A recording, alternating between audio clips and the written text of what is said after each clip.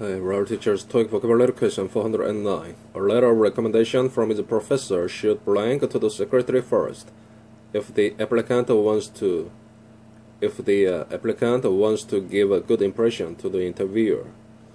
What's the meaning here? If a person who wants to work in a company is waiting to be interviewed, waiting to meet a worker there, the manager there, he should have a letter of recommendation from his professor and send it to the secretary of the manager.